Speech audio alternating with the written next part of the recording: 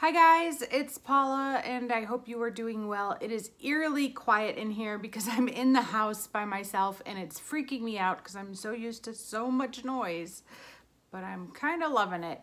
This is going to be my two month update for the 50 Shades of Purple Project Pan. This project is a Pantastic Ladies collaboration project. They are a group over on Facebook, and if you'd like to join, you are more than welcome to. Just hop on over to Facebook and search for the Pantastic Ladies. You'll have to answer a few questions, and you're in.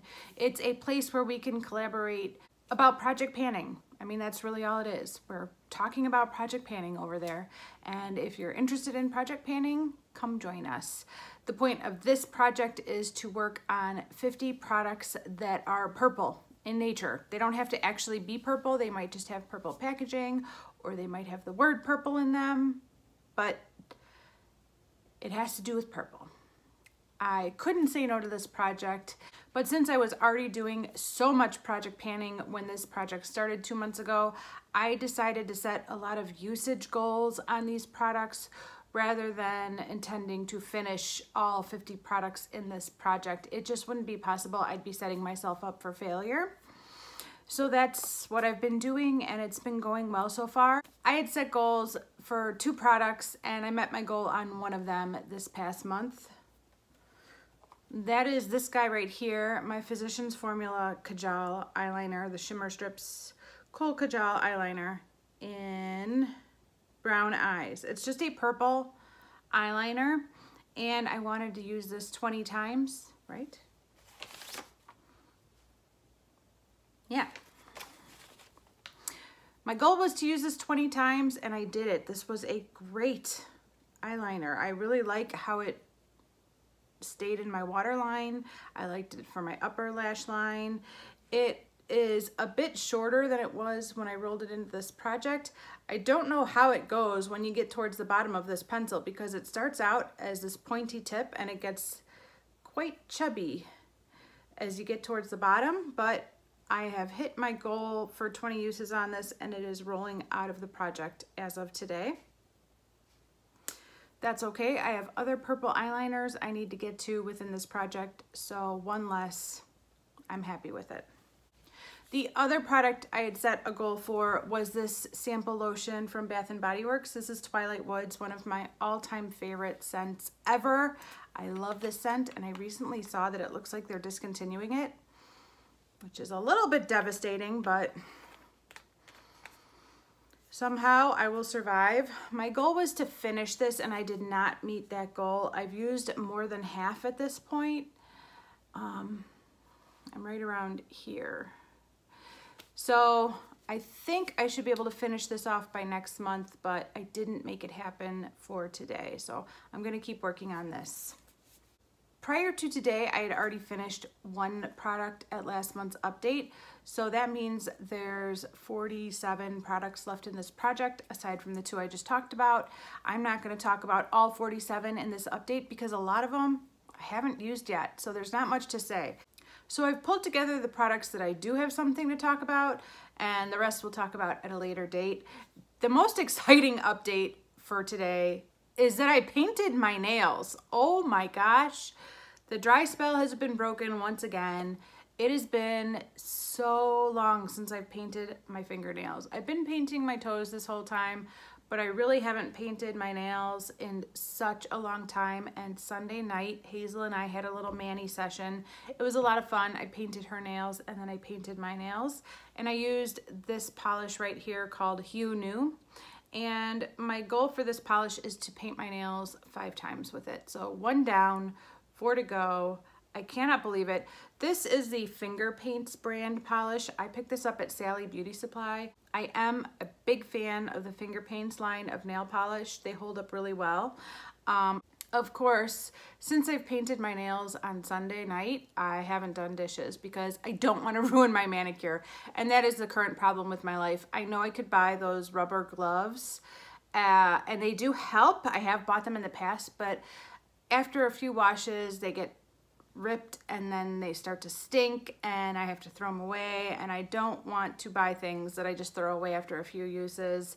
So I don't end up using the rubber gloves. but you guys have given me that suggestion in the past and I have tried it. I just don't want to keep buying rubber gloves that I'm going to use like for a week or two and then throw them away. So that's the problem with that. So maybe one day again I will do dishes when we're out of clean dishes to eat off of. But for now, I'm really enjoying my manicure and I'm trying to keep it going for as long as possible. I did an accent nail. Look at that. I'm so fancy. I really like this color too. It's fun. The next product I want to show you guys is this guy. This is a very dusty a hair product called Small Talk from Bedhead. I probably bought this a million years ago. It's been sitting in my cabinet and right before this project started, I kind of rediscovered it in my cabinet and thought, man, this little squatty ball is taking up quite a bit of space in my cabinet and if I could get it out, that would be good. So I thought, perfect, I'll put it in the 50 Shades of Purple project and use it up in here. And I've been using it. I wash my hair every three days religiously. And every time I wash my hair, I put one pump of this in my hair. The project has been going on for two months. That's 60 days. So I've probably used this 60 divided by three, 20 times. I've probably used this at least 19 or 20 times now and I'm still at the same place. Now in my defense, I marked this a little bit low at the start of the project. So the fill line was at the top of the nail polish line and now the fill line is at the bottom of the nail polish line. But what the heck? I've used this 19 times. 19! It's not going. Of course, with the shape of this bottle, I am at the widest point. So as I continue to work my way down, it should start going faster, but I cannot believe that after using this 19 times, this is all I have to show for it. I did not see that coming. It's shocking. Next, I wanna show you my Ultra Glossy Lip from ColourPop in the shade Wishes. I'm wearing this now on top of the hot pink lipstick sample that's in my advent calendar project pan and I really forgot how much I love these glosses these purpley these purpley pinky lip glosses with a blue flash I love these I have another one of these from a different brand from NYX in this project as well and I keep buying these kind of products over and over because I really do love them so even though I've only worn this twice in the past month I do see myself using this a lot more over the summer, especially since where I live, we have entered phase five in the COVID recovery plan or whatever they call it. And we can now go out to certain locations without a mask on. It's gloss time, baby. That's all I gotta say. It is gloss time. I'm bringing back the gloss. I've been wearing masks for a year, well, we, we've all been wearing masks for well over a year and my lip glosses have suffered. So I'm ready to start wearing lip glosses again and I'm very excited. Since hitting my goal on that Physicians Formula eyeliner, I have started reaching for this Stila one more. This is the shade Tetra. I'm wearing this today. My goal for this one, I think, is 30 uses. Yeah. My goal for this one is to use it 30 times. Why that one was 20 times and this one is 30 times, I don't know. I was pulling numbers out of a hat. That's all I can say about that. But currently I am at four uses. So I got a long way to go on this, but I have four uses on this now and um, 26 more to go. All right, I'm really excited about this next product because it's almost gone. My body wash. This is the Body Recipes White Chocolate Raspberry Shower Gel. I just started using this this past month and I'm already down to here. It's almost gone already. Um, this is like a dollar store type of body wash. It smells very nice and it works just fine. But oh my gosh, whoever thought to put body gel in a bottle with a twist off lid is not the smartest person on earth. This just is not a functional way of using shower gel. It's a pain in the butt. I cannot wait for this to be gone for that reason alone. And I feel like I'm using a little bit more product with each wash than I would if I was using like a Bath and Body Works shower gel or even an Olay shower gel. um, this is going a bit quicker. Plus it is a gel formula, which I don't know. I don't like shower gels in gel formula. I like a body wash that's very creamy and um, doesn't kind of stick together. I feel like sometimes too much product comes out more than I really wanted. And then I'm stuck with this debate, like, do I try to get it back in the bottle or do I just use it? Uh, you know, it's, it's, it's difficult.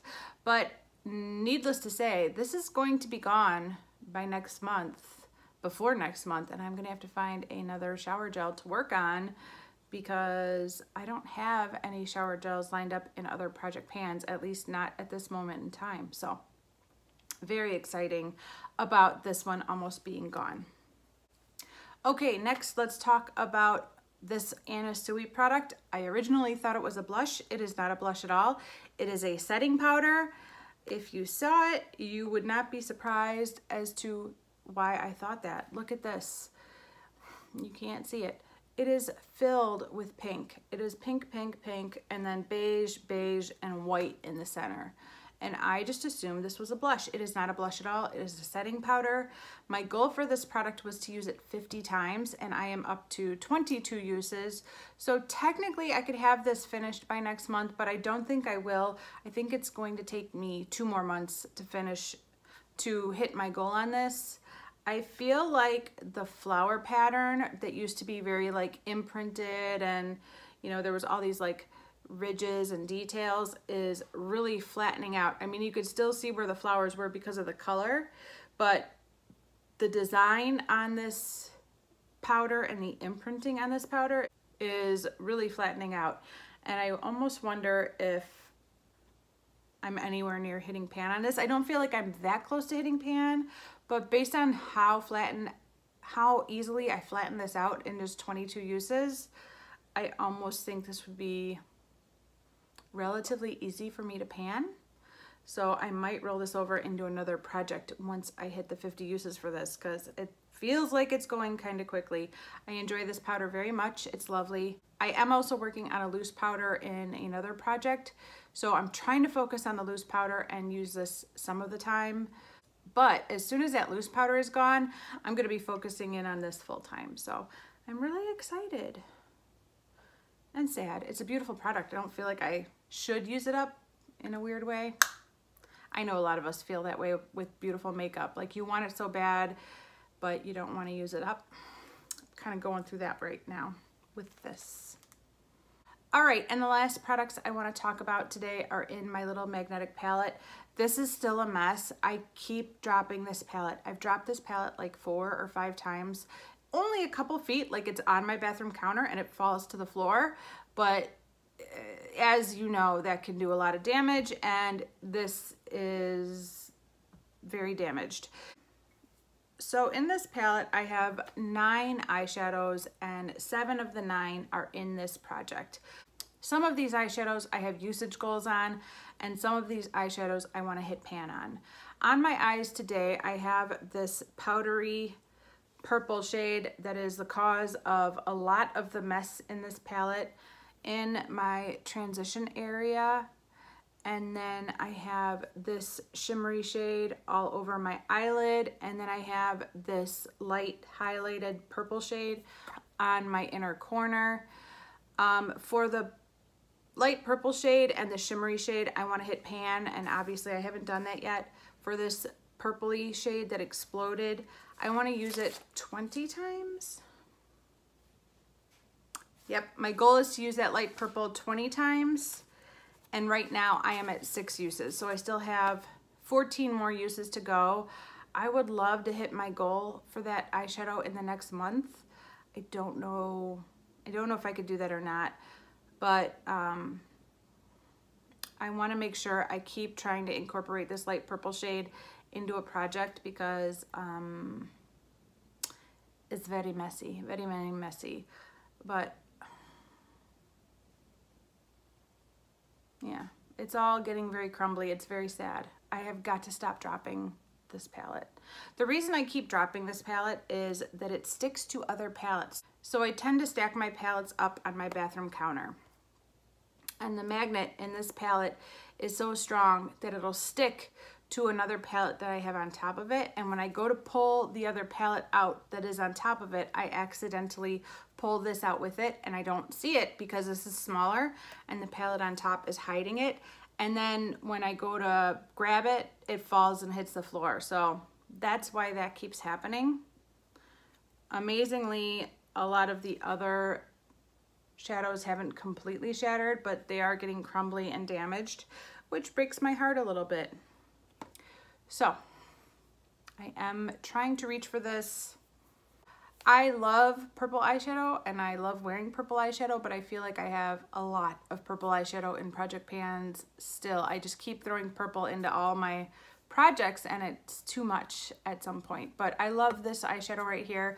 I also have Cranberry from my Dude Pan My Battleship project and I have the matte purple from my Pan That palette in this look and it's nice. I like it. For next month, I would definitely like to have these two products out of the project and finished. So that's my goal is to keep working on these two and finish them and get as much use out of everything else as I can. That would be amazing. I love this project and I'm having a lot of fun with it and I'm really glad I decided to jump in even though I am so overwhelmed with project panning right now and there's some good projects coming up that I would like to join in as well. But um, I really feel like setting usage goals was the way to go for this project because it makes it a lot more manageable. So I'm having so much fun. Thank you guys for checking up on me and watching this monthly update. I appreciate it and I will see you in the next one. Bye.